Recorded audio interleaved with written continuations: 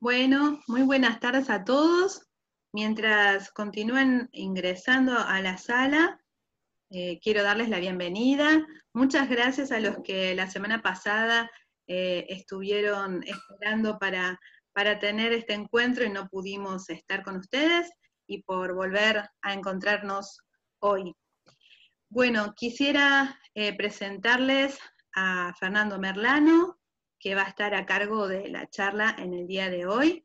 Él es psicólogo, es magíster en problemáticas sociales infanto-juveniles y hoy nos va a hablar sobre alianzas para fomentar vínculos afectivos significativos en el nuevo escenario educativo. Fernando, muchas gracias por estar con nosotros hoy. Nos alegra mucho que estés recuperado. Así que... Muchísimas gracias. Muchísimas gracias, Silvana, Ariel, a todos los presentes. Primero, eh, bueno, volver a agradecerles por esto. Eh, la verdad que la semana pasada estuve bastante mal y gracias a Dios el hisopado que me realizaron dio negativo. No era nada de gravedad, pero fue un sustito interesante. Así que ya creo que pasé también esa experiencia de verme del otro lado y esperar un resultado que defina mi situación. Así que muchas gracias a todos y a todas por, por esperar. Eh, claro, como decía Sil, el día de hoy vamos a hablar un poco sobre vínculos afectivos, vamos a hablar sobre las alianzas, qué, qué es esto de lo afectivo, qué es significativo dentro de este nuevo escenario educativo. ¿sí? Y allí hay mucho, mucho terreno que uno puede abarcar, pero bueno, para no ser ambicioso, quise focalizar sobre todo en dos alianzas puntuales. Una, referida a los directivos, a los docentes, que sería el sostén del sostén. O sea, a todas aquellas personas que están sosteniendo el sistema educativo, que están sosteniendo a las familias, que están ayudando a toda esta labor. Y de otra parte está también la alianza entre docentes, estudiantes y familias, que va a ser el acompañamiento que están realizando desde que empezó toda esta pandemia y que normalmente se, se realiza en las escuelas, pero bueno, con esta situación emergente ha tenido que modificarse bastante. Y aquí hay algo que no sé si es nuevo para algunos, quizás lo han leído en, algunos papers, esto de la virtualidad y la cuarta pared. Es un término que se extracta del teatro. Yo, más o menos, para darle un nombre interesante, le puse la nueva cuarta pared de la virtualidad. Y es, si ustedes se fijan, cuando estamos en el salón de clases hay dos paredes a los costados, una detrás, quizás el pizarrón, y una de fondo, que es lo que cierra el, cuadrado. Suponiendo que sea una escuela más o menos estándar, ¿no? Si uno quiere dar clases en el campo, si uno está haciendo quizás otro tipo de actividades, seguramente se modifica. Pero lo que voy con esto es, esta cuarta pared es una pared imaginaria, una pared invisible, que en el teatro le permite a los actores, hasta donde está el límite del escenario, poder desempeñar una obra de teatro en una época diferente de la que se vive del escenario hacia donde está el público.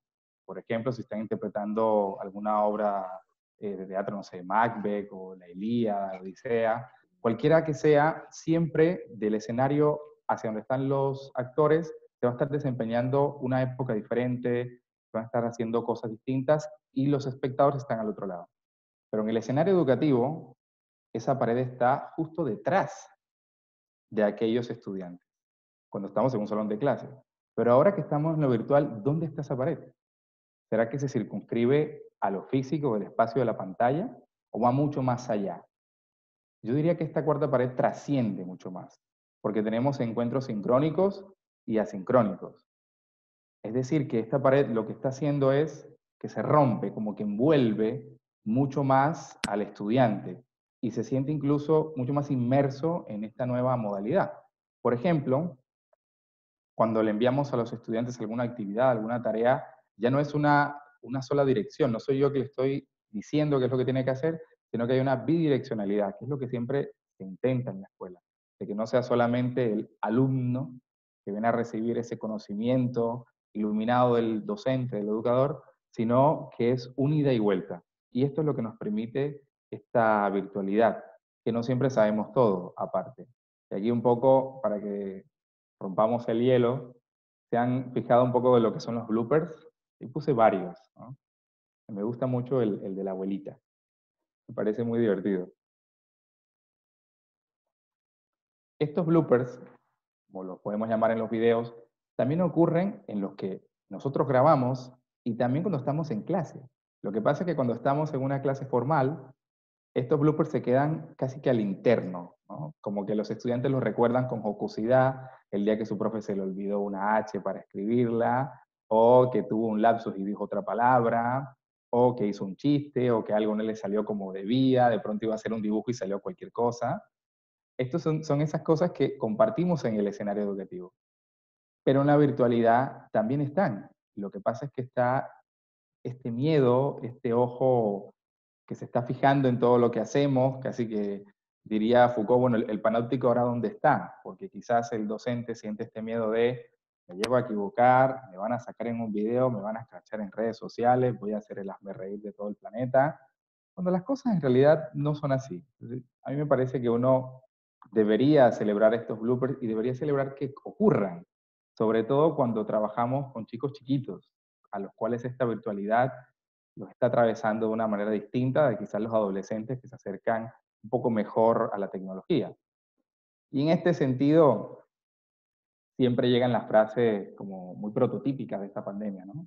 No podemos más porque se nos exige demasiado, estamos muy cansados de lo mismo, no se puede trabajar de esta misma forma. Ojo que no, no lo dicen los docentes, no estoy diciendo que sea un pensamiento exclusivo de las personas que están en el ámbito educativo, sino que es lo que replican los medios de comunicación, aun cuando esto no sea verdad pero siempre la información que circula en redes sociales es que el sistema educativo no puede, que colapsa, después la ONU dice tenemos que volver a clase y algunos países dicen definitivamente no vamos a volver, otros dicen sí porque ya va a haber una vacuna, bueno, y empieza toda como un efecto bola de nieve que se va acrecentando y parece que los problemas nos superan.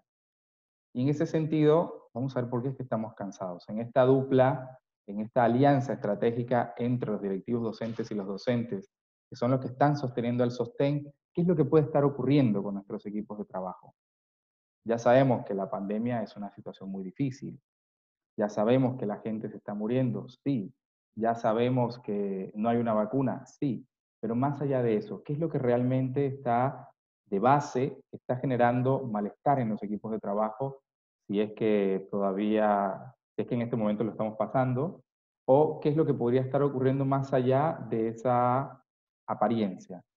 Y aquí algunas cosas interesantes que podemos ver, es desde varias escuelas en psicología, esta sobre el yo versus el ideal del yo de la psicología humanista, y lo que dice la psicología humanista es que, bueno, entre más elevado esté este ideal del yo, esta idea que tengo de replicar el conocimiento de la escuela, la escuela formal, en lo virtual, cuando me encuentre con este yo real, con lo que realmente puede ofrecerme el escenario virtual, lo que realmente puedo esperar de mis estudiantes, lo que realmente puedo ah, realizar, porque no todos cuentan con una cobertura digital amplia, no todos son nativos digitales, no todos cuentan con el acompañamiento familiar, ni siquiera también los docentes, que muchas veces han tenido que ser casi eh, aprender por medio de los videos de YouTube cómo se hace una cuenta de Zoom, cómo es que puedo subir un video, cómo lo grabo, lo edito, no lo edito, y son horas de edición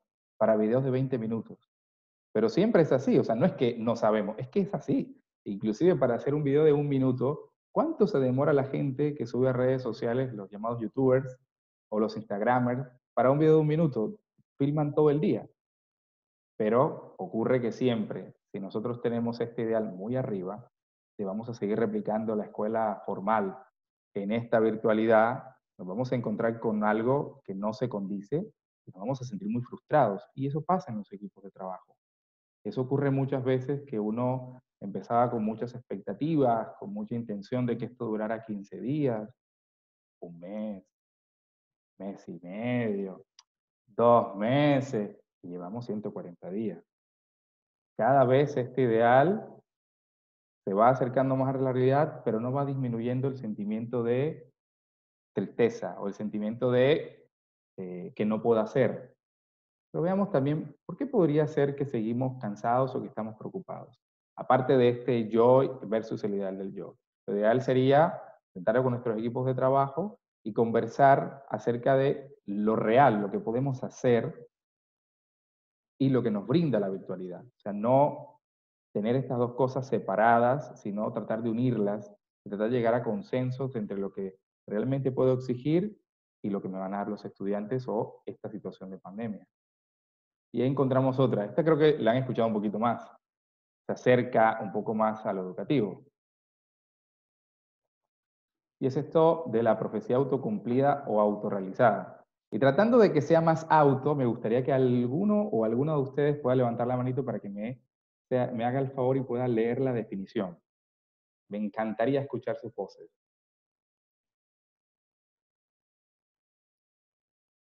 No sé si Sil nos colabora. Ahí veo que alguien levantó la mano. Mabel, a ver. Te escuchamos.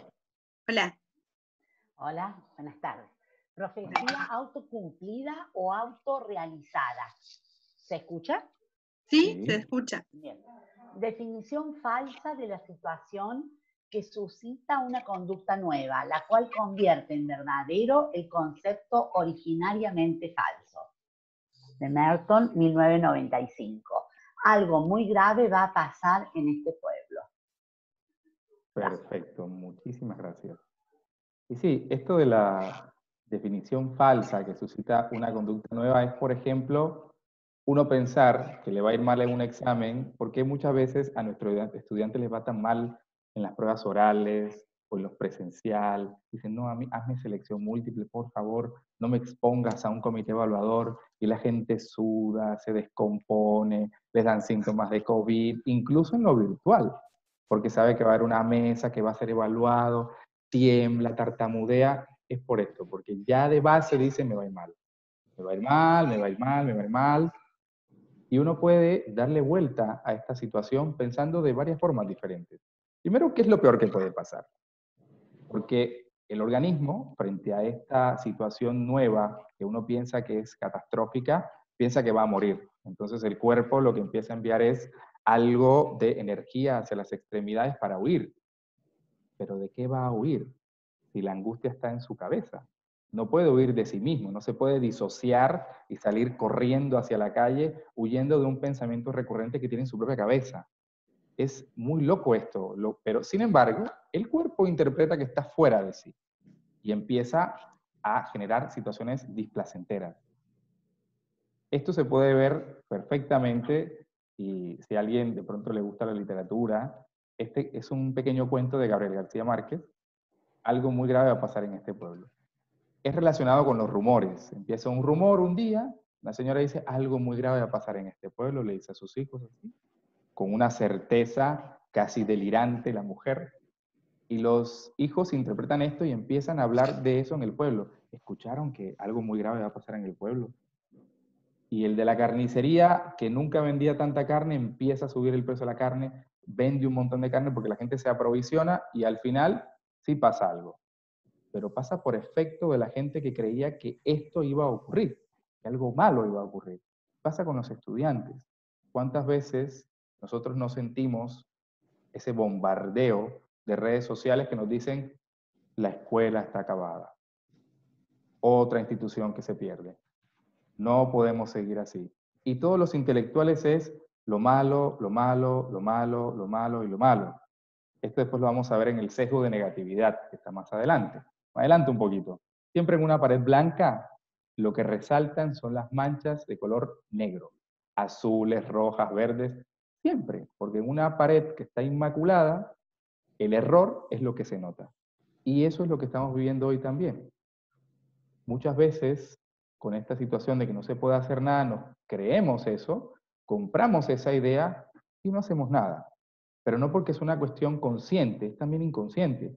Fíjense ustedes que de tanto que las personas le dicen a uno, esa persona que vas a conocer es mala gente, eh, te, te va a tratar mal, te va a tratar esto, ya uno va predispuesto a que eso ocurra. Y no se da cuenta que esa actitud de rechazo esa actitud fría, esa actitud pétrea para no dejar que el otro ingrese, puede ser lo que esté generando esa actitud en esa persona. paradójico. Pareciera que no, no se sabe qué es primero, el huevo o la gallina. Quizás con el efecto Pigmalión, que es otra cuestión que surge de la profecía autocumplida, lo podemos entender un poco más. ¿Qué pasa con el efecto Pigmalión? También es de educación. Resulta que cuando empieza a asociarse Rosenthal y Jacobson, ellos tienen escuelas, empiezan a observar que quizás estaría bueno hacer un experimento copado. Seleccionan a toda la población estudiantil y empiezan a hacer exámenes de inteligencia. Estos exámenes de inteligencia dan un muestreo que nadie estaba por encima de, de la media, o sea, era todo bastante parejo. Pero ¿qué le dicen a los profesores? Ustedes, algunos profesores les dicen, ustedes tienen en su clase estudiantes sumamente distinguidos y que pueden dar incluso mucho más de lo que dan los demás. Los profesores compran esta idea, consciente, inconsciente, como profetía autocumplida o no, y empiezan a dedicarle mucho más tiempo de manera inconsciente a estos estudiantes. Porque seguramente si no estaban aprendiendo, no era porque no tuvieran capacidades, era porque quizás yo no estaba arbitrando los medios necesarios para que ese estudiante que era tan bueno, que había apuntado tan bien en las pruebas de inteligencia, diera lo mejor de sí. No lo veían como un fracaso del estudiante, sino como algo que tenía que modificarse para brindarle las herramientas necesarias a ese estudiante. ¿Y qué pasaba acá? Empezaba a jugar la expectativa sobre ese estudiante, eso incidía directamente sobre la conducta que este educador tenía sobre esos estudiantes, lo que generaba un crecimiento intelectual. Porque luego, al final del curso, de toda la cursada, volvieron a evaluar a los mismos estudiantes que habían dado dentro de la normalidad y se dieron cuenta de que habían un crecimiento superior en comparación de todos los demás. Entonces, ¿qué nos dice esto? La mente es muy poderosa. Los dichos son muy poderosos. Lo que circula en redes sociales es muy poderoso. ¿Y qué pasa si esto está ocurriendo también al interior de los equipos técnicos, de los equipos directivos, de los equipos docentes? Si vamos con una actitud y pensando que estos estudiantes no pueden, estos estudiantes no se conectan, no digo que sea así, es la información que circula muchas veces en redes sociales que no nos van a dar vacaciones de invierno porque ustedes no hacen nada desde la casa, refiriéndose a los docentes, por ejemplo, todo el pleito que hubo sobre eso.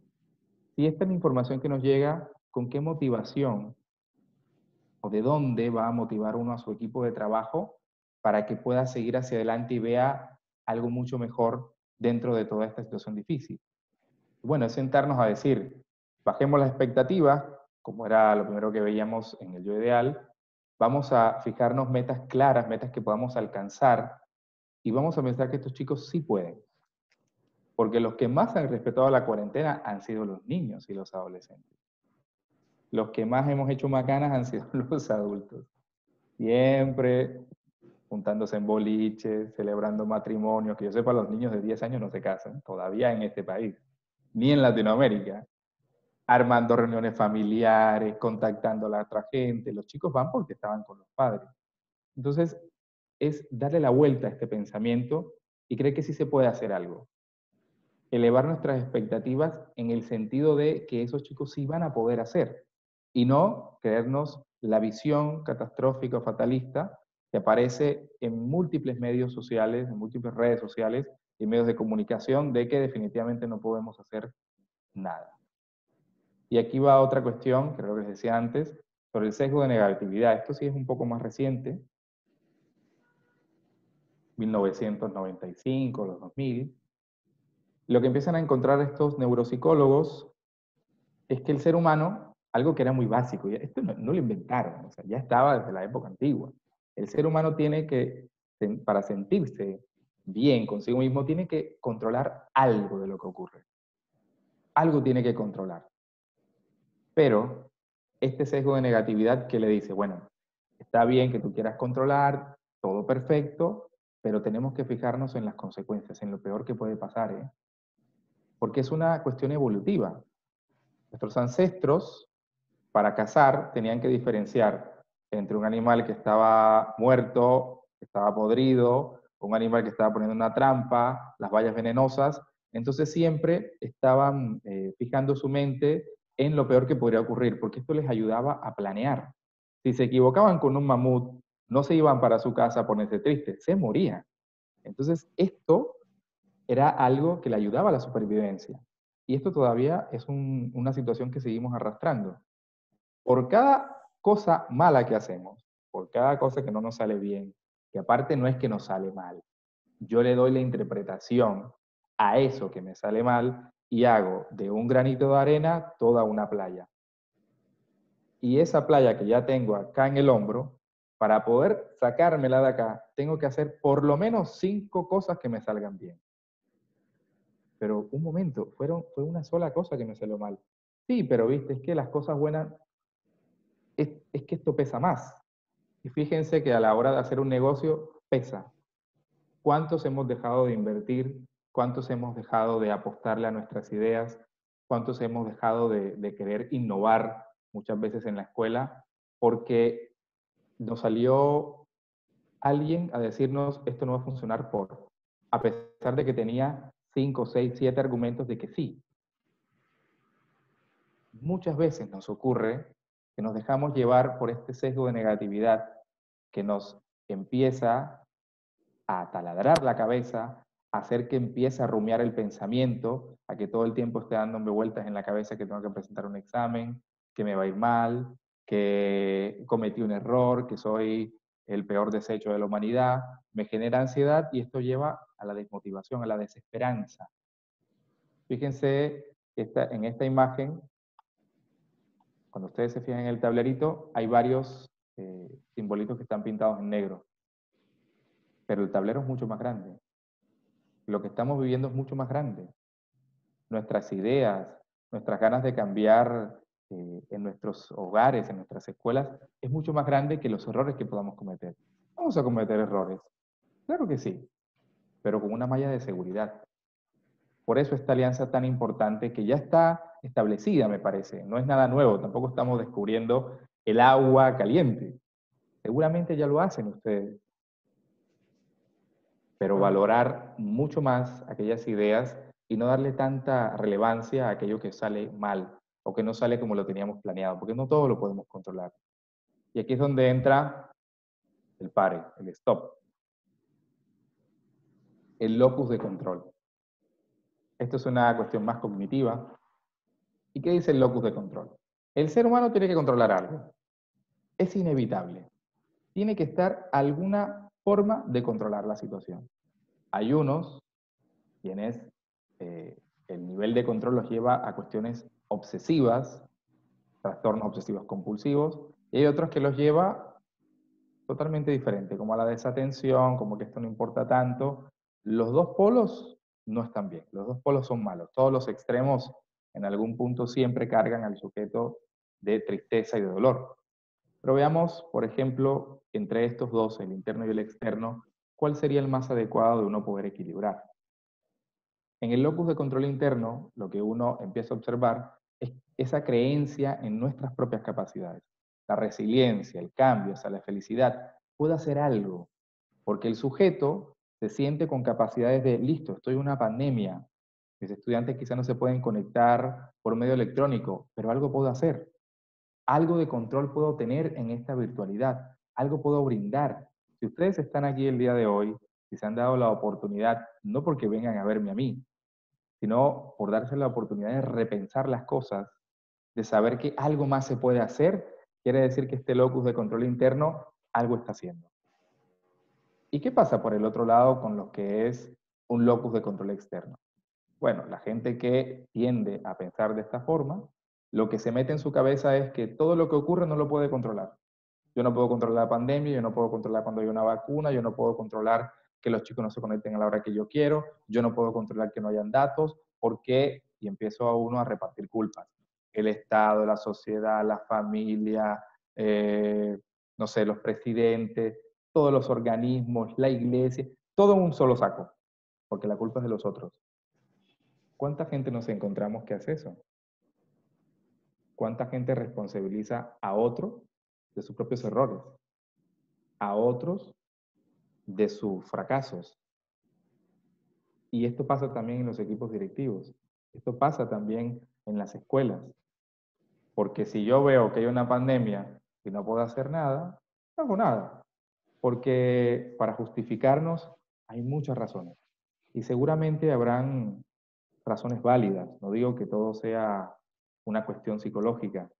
Estamos atravesando por una situación muy compleja, pero no debemos perder la esperanza en que se pueda hacer algo mejor. En que se pueda hacer algo.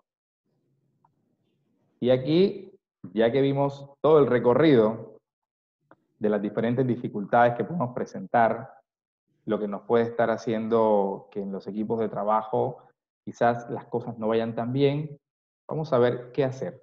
Vimos todo lo malo, vimos, vimos los puntitos negros en el tablero blanco, y ahora qué hacemos a nivel de equipo, con nuestros, las personas con las que trabajamos. Y bueno, como es sosteniendo el sostén, lo primero que seguramente, esto ya lo deben estar haciendo, que son los encuentros periódicos y sistemáticos que se, han, eh, se les ha dado como mayor relevancia en este momento. Nunca yo me imaginé, y de manera particular se los digo, jamás en mi vida me había podido reunir con mi equipo de trabajo una vez por semana, una hora y media. Eso era impensable, porque habían demasiadas cosas en el día a día, porque era una vorágine constante, entrega un informe, anda a tal organismo, regresa, una familia. Era así todo el tiempo, un estudiante. Y ahora, al parecer, al parecer digo, porque también esas reuniones, a mí mis reuniones son 8 de la noche, 9 y media de la noche, supongamos que tengo un poco más de tiempo. Entonces, la virtualidad nos ha permitido utilizar estas herramientas para apropiarnos de algo que era muy difícil, era el encuentro así no los estemos viendo cara a cara, pero esta lógica dialéctica, esta lógica de doble vía, te permite bastante en estos encuentros. Pero ¿qué hacer en un encuentro? Porque no venimos a hablar por hablar. Ahí lo que sería importante poder instaurar es talleres de autoayuda o de aprendizaje emocional. ¿A qué voy con esto? Tampoco crean que ahora vamos a sacar los libros de autoayuda que cuando uno va en el supermercado están al costado no es ese tipo de autoayuda, quiero aclararles, sino que son talleres que se pueden brindar donde estos encuentros lo que permitan es repensar las prácticas. ¿Por qué autoayuda? Porque yo me estoy ayudando a mejorar mis prácticas y en este sentido estoy dándole más calidad humana al otro. Me estoy brindando y permitiendo un momento en el cual reflexione y diga, estoy cansado, no puedo más y que alguien del otro lado me diga, yo también, pero a mí me funcionó tal cosa. En el momento en que ese espejo se pone delante y uno ve que hay otro también que siente, que sufre, que no la está pasando bien, pero que algo ha podido funcionarle, me retroalimenta de manera positiva. Y más si esa persona que me dice que no puede más, pero que quiere hacer las cosas, es un compañero de trabajo porque es alguien al que yo he depositado mi confianza, que lo conozco, que sé de su entrega, que sé de su compromiso, y que bueno, si él tampoco la está pasando bien, entonces, qué, qué bueno que podamos reunirnos y hablar de esto. Capaz que cuando saque el bulto de arena que llevaba acá, me dé cuenta que era un granito. Me dé cuenta de que no era tan problemática la situación y de que sí podemos hacer algo. De otra parte, para las escuelas que tengan esto un poco más aceitado, los equipos técnicos de acompañamiento psicosocial, psicólogos, trabajadores sociales, quizás tengan eh, esta parte más ordenada hacia el seguimiento de las familias.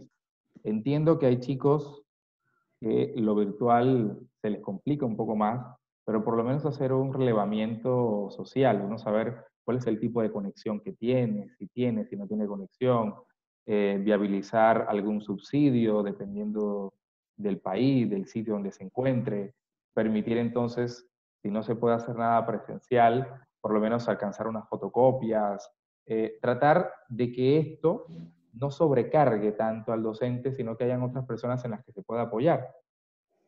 Porque no todos somos psicólogos. Y no está bueno que el mundo esté lleno de psicólogos ni que todos los docentes sean psicólogos porque entonces vamos a escuchar un montón de problemas y ahí sí que este bulto de arena se va a convertir en una tonelada. Cuando se estudia psicología, uno le entrenan para que esa tonelada uno sepa sacarle un poco el cuerpo, pero en la docencia es muy complicado. y entonces después surgen juicios de valor, después surgen cosas complicadas, cosas difíciles, pero no porque el docente quiera hacerlo así de esa forma, sino porque el entrenamiento en aprendizaje emocional no es sencillo. Y en ese orden de ideas, al brindar acompañamiento, al brindar sostén emocional de estos equipos, al orientar a los docentes en cómo poder desarrollar una escucha activa de ese estudiante, de esa familia, uno debería buscar también, a nivel particular, una ayuda profesional o una ayuda espiritual.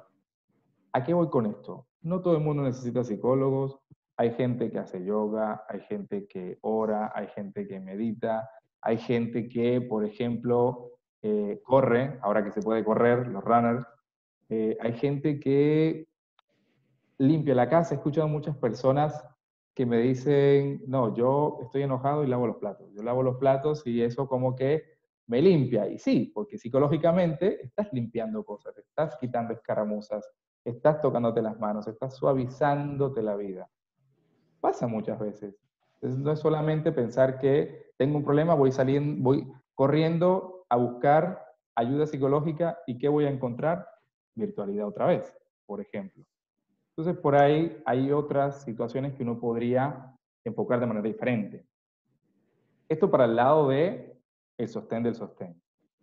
Pero vamos con la otra pata. Recuerden que las preguntas que vayan surgiendo las van escribiendo, me encantaría escucharlo.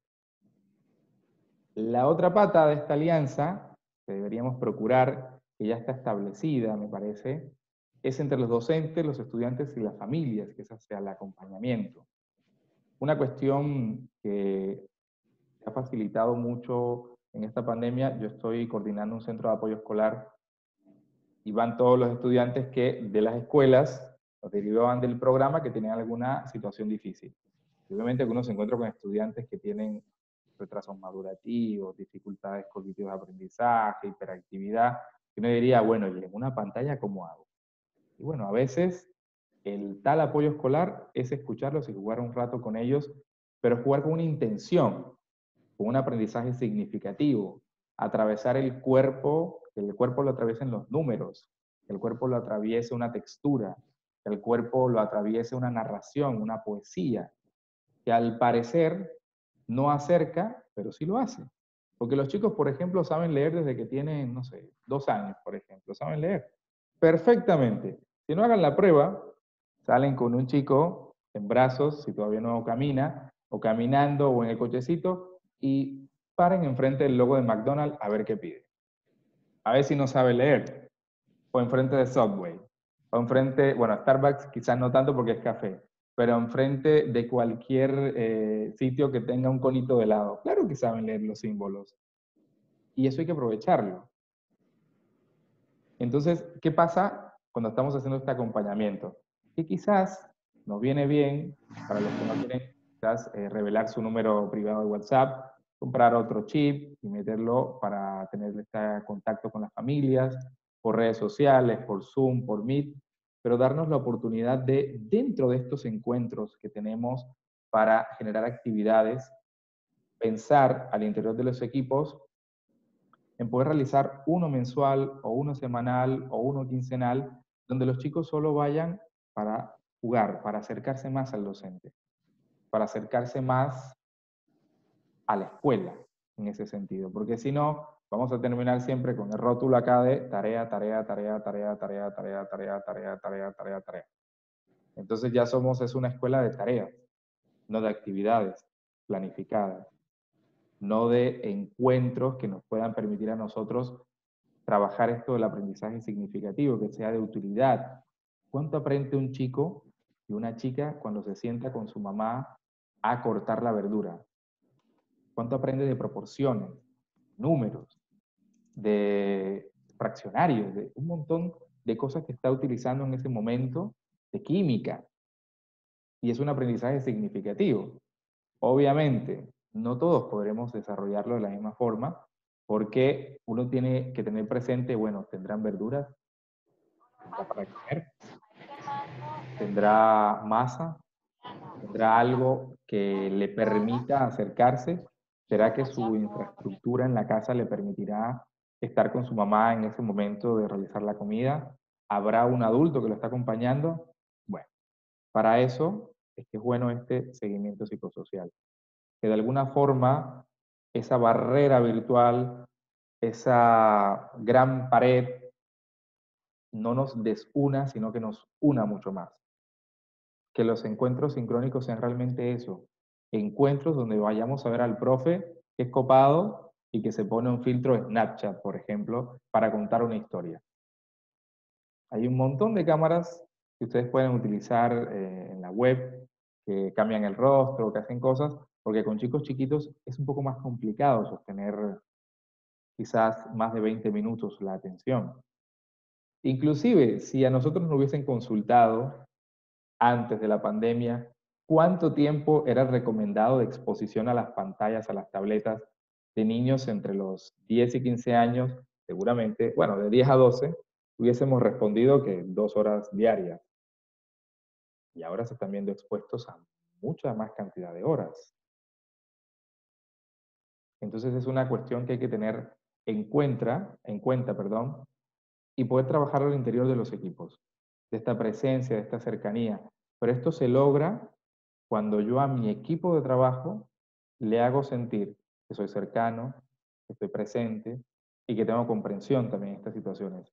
Que para eso son los talleres de autoayuda o de encuentro semanal o el nombre que se les dé, pero que tenga este componente de permitir la expresión para que esos bultos de arena que tenemos encima se vayan convirtiendo en granitos más pequeñitos, porque todos estamos pasando por esta situación difícil. Bueno, hasta aquí es como lo que tenía para decir en este momento.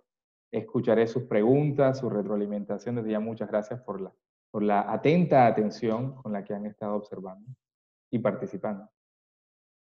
Yo tengo unas cuantas preguntas mientras eh, el resto se anima a escribirlas. Unas cuantas preguntas que me fueron surgiendo. Primero, rescatar esto que, decías, ¿no? Relajarnos, relajarnos, este, no, no estar almidonados y no tratar de replicar el modelo del aula en estos encuentros de Zoom. No tratar de replicar, o sea, no hacer de cuenta que no pasó nada, con los estudiantes, sino mostrar que es una situación diferente y podemos encontrar otras formas de estar en contacto con ellos eh, en estos encuentros, ¿no? Sí, tienes toda la razón porque tratar de extractar un modelo hacia unas condiciones sociales diferentes, hacia una virtualidad, nunca funciona. Pasa cuando son modelos políticos, agarramos un modelo de Europa y lo traemos, ¡pum!, y lo pegamos y lo copiamos directamente a la Constitución, no funciona.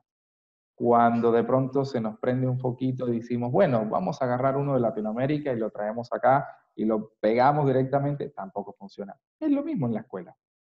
No se puede pretender replicar algo irreplicable, donde el chico está en su casa y de pronto tiene muchos distractores.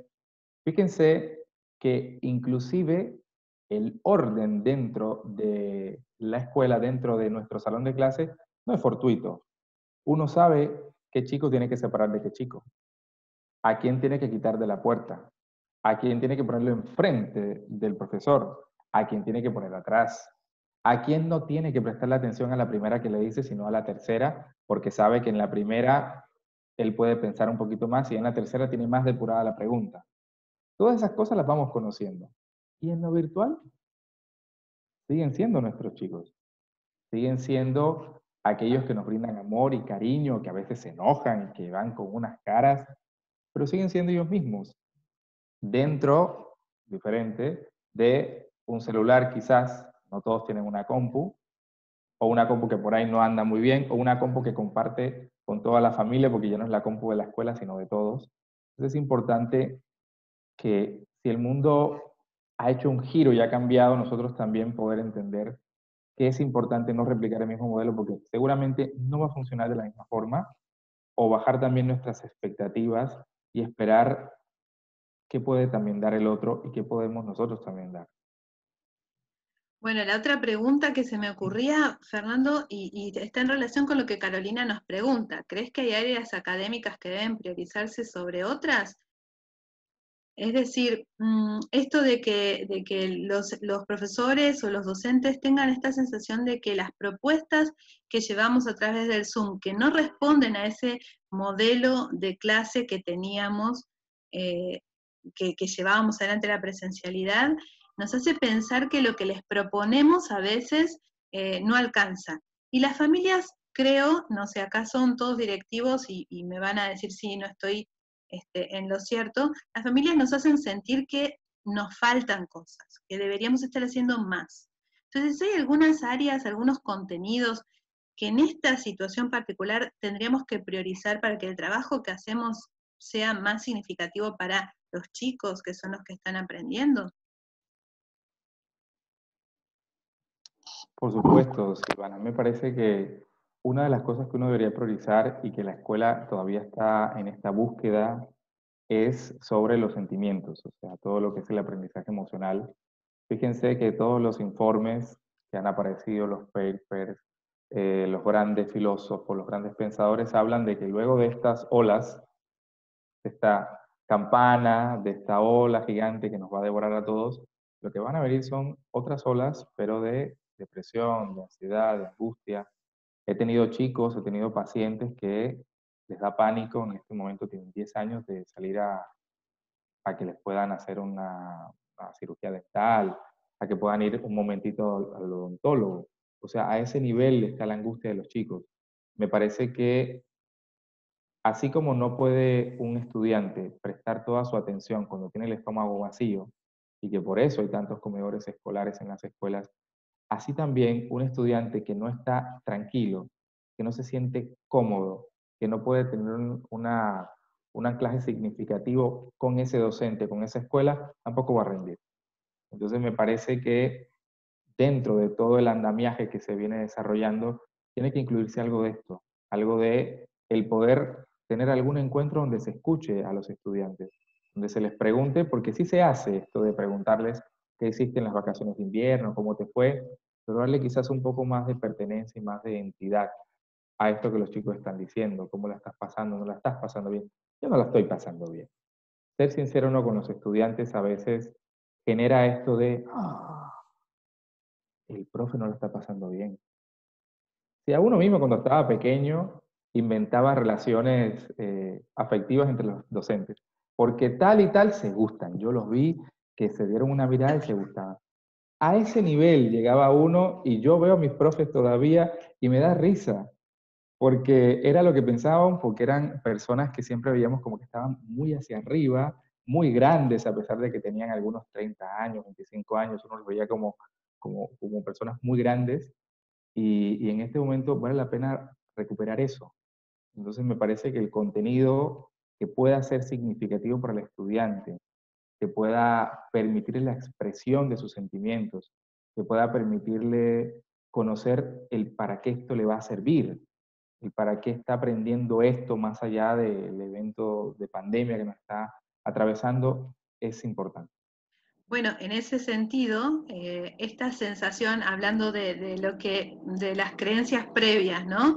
A las que a veces estamos aferrados y, y que pesan en nuestro accionar, eh, hay mucha sensación en las familias, y eso también se vuelca en la presión que sienten los docentes, de que los chicos no están aprendiendo nada.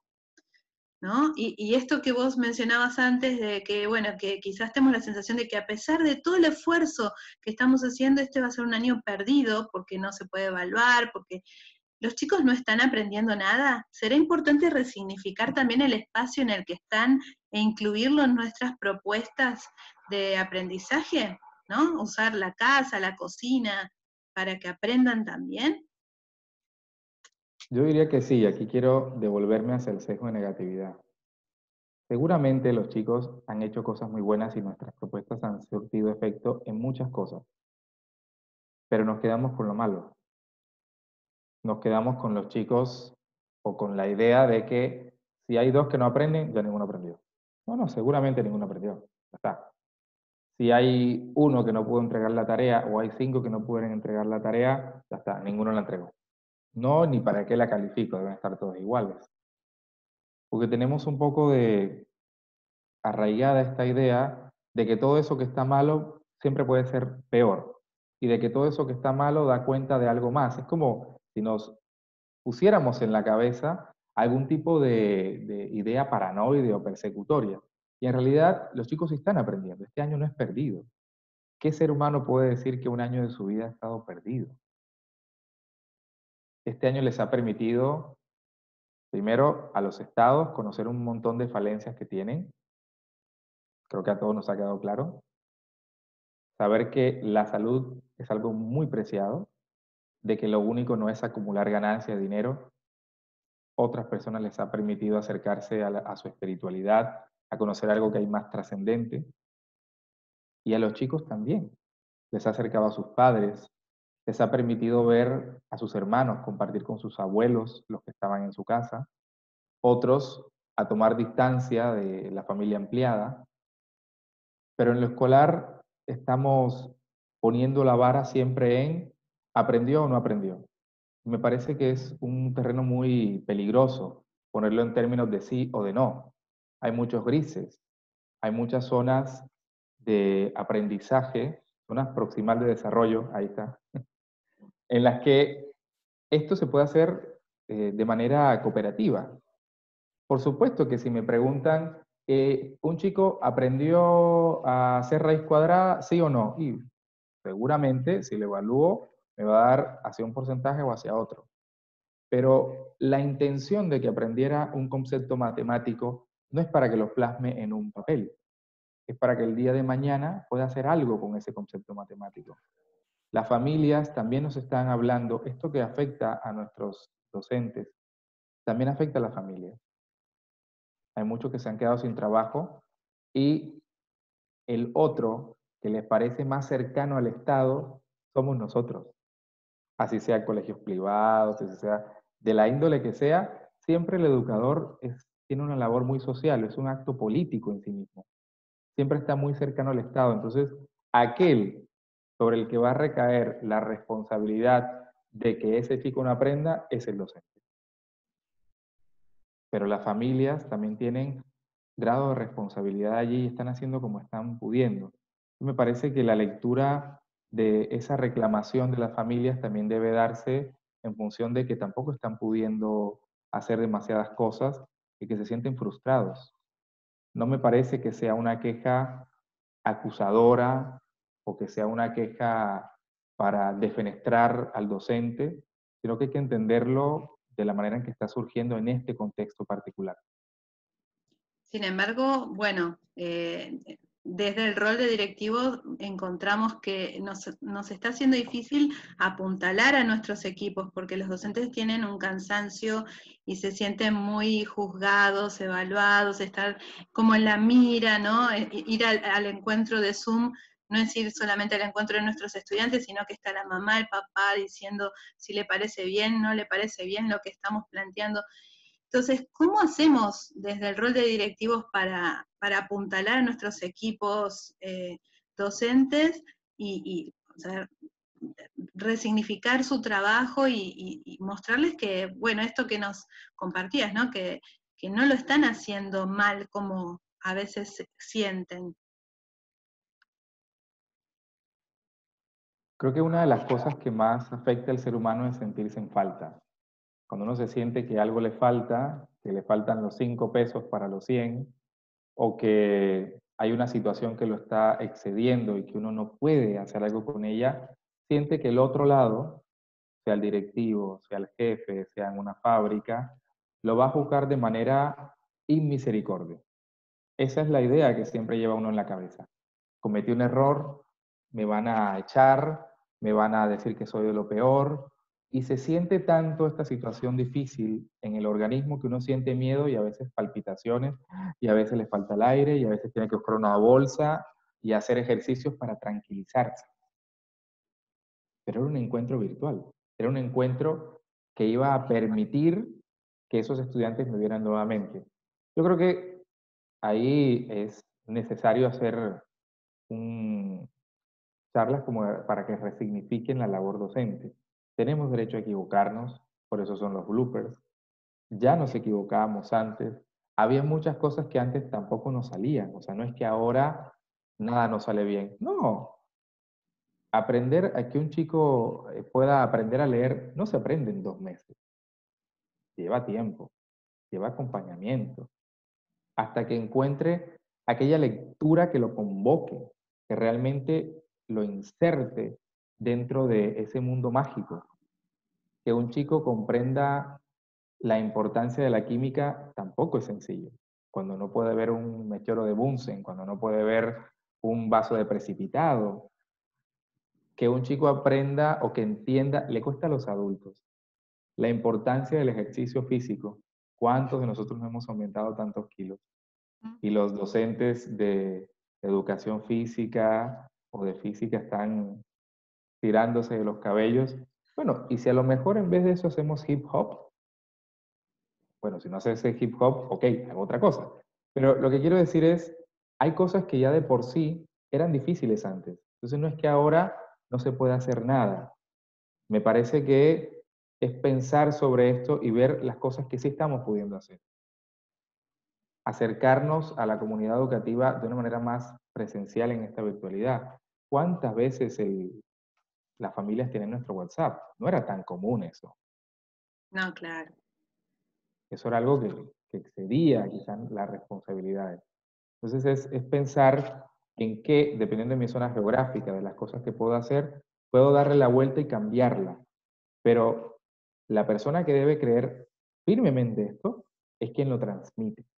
Si yo lo transmito con temor, el otro, la lectura que va a hacer es que yo también siento miedo.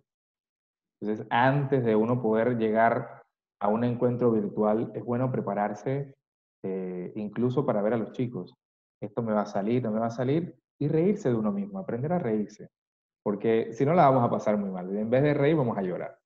Bueno, esa es una buena recomendación, no solamente para esta situación, también para cuando volvamos al aula. ¿eh? Que los docentes aprendamos a reírnos un poco más de nosotros mismos. Acá quiero recuperar algunas preguntas que, que fueron haciendo. Eh, Alicia nos dice, pensando en los adolescentes de secundario, ¿nos darías pistas para poder trabajar con la imagen y el micrófono para seguir fortaleciendo el vínculo entre docente y alumno? Los adolescentes en esta situación. Con, los adolescentes, nosotros tenemos un grupito súper divertido. Nos reunimos todos los martes, una hora, una hora y treinta. Obviamente que es, distinto, es una, un centro de día. Y al principio costó bastante que los adolescentes se engancharan, pudieran eh, pensar en un nombre para grupo y lo primero que uno debería trabajar con ellos es la noción de grupo, porque están en la edad en la cual van a querer copiar a aquellos referentes que son importantes y que son significativos. No se pintan el pelo de rojo porque sí, se lo pintan porque otro adolescente u otra figura importante para ellos se lo pintó. No le contestan mal a la mamá o al papá o al docente porque sí, utilizan aquella palabra que es significativa en ese contexto. Entonces los adolescentes me parece que son un grupo bastante variado y bastante nutrido de conocimiento y que saben mucho más. Y para poder acercarnos a ellos, siéntense en la libertad de preguntarle. ¿Y cuál es el problema de que el adolescente le enseñe al docente cómo utilizar Snapchat? O cómo poder utilizar una herramienta. Podemos utilizar eso para una sola clase. Digo, esta clase la van a hacer ustedes. Estaría piola que me enseñaran a tal cosa para que la pudiéramos usar. Los que más saben de juegos en línea son los adolescentes, los chicos. Los que más saben de dinámicas para desarrollar son ellos. Seguramente no todos les va a parecer una súper genial idea enseñarle a su docente, pero hay eh, ya escritos y hay papers ya elaborados sobre eso, sobre la bidireccionalidad del conocimiento. Y al momento que ese estudiante va aprendiendo, los demás también, porque no todos los adolescentes saben manejar redes sociales. No todos están a salvo del ciberbullying, no todos están a salvo de las acechanzas que pueden estar ocurriendo de, gente que quiera aprovecharse de ellos y ganar algo de ellos. No todos están al, al tanto del sexting y de cuáles son las situaciones difíciles que se pueden presentar. Entonces es importante revalorizar el conocimiento que ellos tienen también y que nos pueden ofrecer. Cuando rompan el hielo con ellos, todas las cosas que les propongan seguramente te van a dar y tiene algo muy particular y es que uno siempre va a recibir muchas más ideas de ellos que las que uno lleva. Esto va a pasar muchas veces y es bonito darle la vuelta. O si uno tiene una idea pensada, tratar de hacer que surja en el equipo, en el grupo, para poder convocarlos. Eh, no sé, hacer un trabajo colaborativo con Google Drive, una presentación en Prezi, que no sean estas presentaciones como tan más esquemáticas, utilizar eh, quizás el Facebook para hacer una muestra de algo. Mm, parece que se llama FarClip, que también son imágenes con sonido. Hay varias herramientas eh, después seguramente le va a pasar así algunos links que pueden utilizar como para que se pueda apropiar de otra forma la virtualidad y tampoco les dé pena de buscar en YouTube tutoriales para aprender a hacer tal cosa. Claro, y ponerlos a hacer, ¿no? Porque también e, eso es interesante, ¿no? Es romper el esquema de aula, es quizás eh, invitarlos a, que hagan algo, ¿no? Y de esa manera estén más activos. Acá Mónica nos dice, desde el punto de vista psicológico, ¿cuánto tiempo debería ser lo recomendable para una sesión de clase para los grupos de primaria, por ejemplo? ¿Las clases no deberían tener la misma duración de las clases presenciales?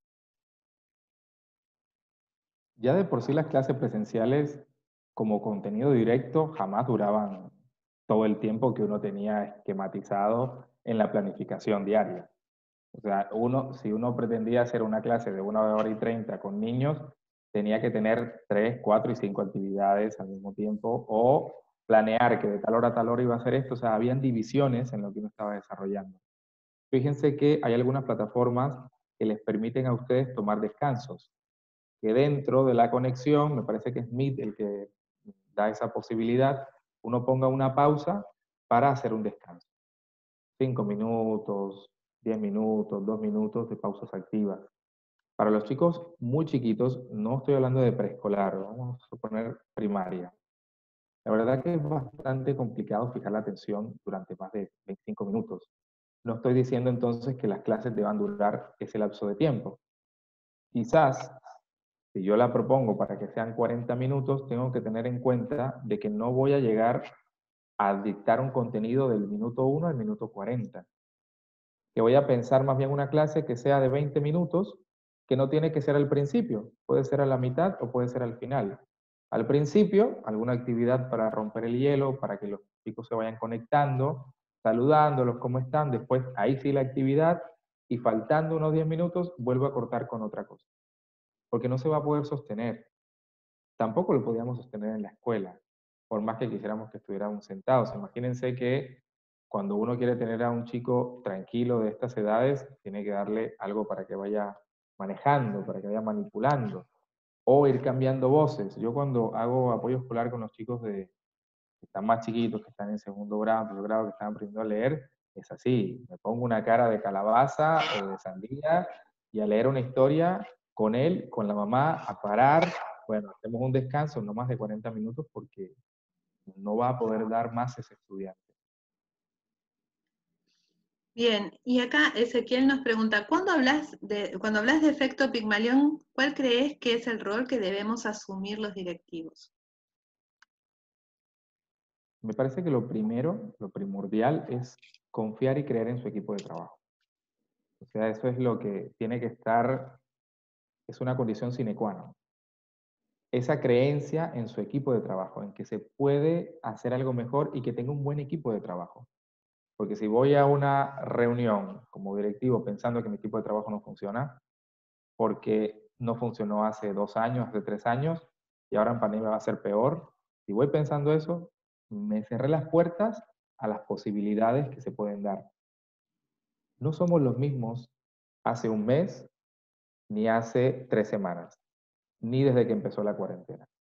Porque somos un devenir constante, somos seres humanos cambiantes, nos adaptamos a las situaciones o nos pasan por encima, porque tenemos capacidad de resiliencia. Entonces una de las cosas sería quizás hacer un árbol de problemas, sentarnos con nuestro equipo y decir, bueno, ¿cuáles son los problemas reales que tenemos hoy? No solamente para dictar nuestras clases, en general. Y van a surgir cosas muy interesantes. Y después de esos árboles de problema, lo que sería una matriz DOFA, debilidades, fortalezas, oportunidades y amenazas, creo que es así, y poder eh, desarrollar un esquema de trabajo de, bueno, tenemos estas dificultades, ¿qué vamos a hacer entre todos para esto? Que el directivo sea un poco más abierto hacia la posibilidad de darle a su equipo de trabajo responsabilidades, a delegar, porque si no, si uno se carga de todas las responsabilidades y no se permite delegar porque piensa que el otro no lo va a hacer o no es capaz o no es inteligente o no tiene la posibilidad de, la verdad que me estoy cerrando una puerta a quitarme presión a mí mismo. Si yo creo que soy el mejor directivo del mundo porque me cargo todo el peso de la institución encima, en algún momento me va a aplastar. No se puede sostener todo el tiempo esta lógica de yo quiero controlarlo todo, todo, todo, todo, todo, todo, todo. También el otro tiene que sentir que algo puede controlar. Porque si no, aquella decisión que a mí me pareció consensuada, a mí como directivo, los educadores la van a ver como eso lo decidió el jefe. Por lo tanto, como yo no tuve poder de decisión, que lo haga él. Y si funciona mal, por culpa de él. Y si funciona bien, por culpa de él. Qué bonito sería más bien cambiar la idea y que las personas que también están compartiendo esta reunión se sientan copartícipes de esas decisiones. En la medida en que uno pueda ser partícipe al otro, va a sentir la responsabilidad de la creación de esa idea y la va a poder llevar adelante mucho más fácilmente. Bueno, en este sentido también eh, algo que mencionaste antes en la charla, y es que eh, esta situación nos está brindando la gran oportunidad de eh, generar estas redes de colaboración entre los propios equipos de docentes que a veces trabajaban de manera más aislada. Entonces, tratar a lo mejor de fomentar eh, que se afiancen, ¿no? que se fortalezcan estas redes de colaboración puede hacer que cuando termine toda esta situación tengamos un equipo bien consolidado y, que haya tenido la experiencia de trabajar y, pensar juntos. Eso me parece súper valioso, algo que podemos rescatar positivo de todo esto, ¿no? Sí, es, es algo maravilloso. La verdad que las reuniones que teníamos antes eran primero que eran muy esquemáticas, eran muy ladrilludas, tenían un montón de ítems, casi que parecía un acto cívico, eh, no sé, juramento a la bandera. Era una cuestión demasiado esquemática. En este momento lo que nos ha permitido la virtualidad es, como nos encontramos varias veces, podemos ir quitándole tanta presión a ciertas cosas y hablarlas varias veces. Posiblemente si uno planea, por ejemplo, ahora en Argentina se viene el Día del Niño, ¿cómo va a encarar la escuela el Día del Niño? ¿Se ha pensado eso? ¿Se ha dialogado entre el equipo de trabajo que, no, no, no, pero es que no se puede hacer nada porque no le podemos dar más comida a la gente? Necesitan comida. No, no, pero lo que pasa es que ya cada docente lo está haciendo. Bueno, pero sería quizás interesante compartir esa idea que cada docente está haciendo para ese Día del Niño a lo mejor salga algo bueno. Y en ese sentido también, como directivo, podríamos permitir que se hicieran más redes de trabajo. Porque así como al interior de nuestro equipo de trabajo está, hay mesas de apoyo psicosocial que se están consolidando en esta pandemia.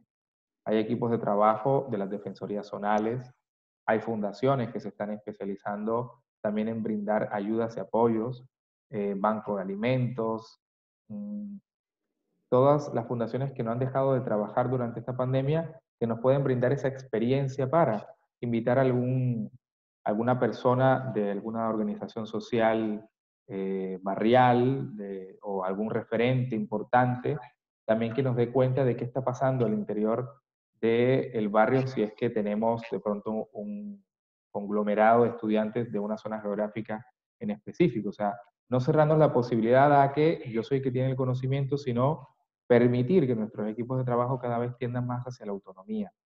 Y esto va a generar que después cuando regresemos, seguramente no vamos a abandonar el Zoom. Quizás por unos meses, de pronto, pero vamos a retornar a él luego porque es una herramienta verdaderamente fantástica, que nos permite poder encontrarnos aun cuando estemos de licencia o estemos enfermos o eh, no se pueda porque todos tenemos horarios diferentes. Sí. Bueno, Fernando, la verdad que eh, muy valioso todo lo que escuchamos. Eh, me quedo pensando un montón de cosas, pero ya nos hemos excedido del horario de nuestro encuentro. Quiero agradecerte muchísimo que, nos hayas dado esta charla y, también que nos hayas regalado minutos extra. Así que bueno, muchas gracias, muchas gracias a todos por, por participar, por sumarse y bueno, nos vemos. Muchísimas gracias a todos y todas, de verdad. Han sido maravilloso todo lo que he aprendido con ustedes. Esas preguntas estaban excelentes y me hicieron pensar un montón. me encanta, me encanta. Un abrazo a todos y todas. Espero verlos prontamente. Que estén muy bien todos.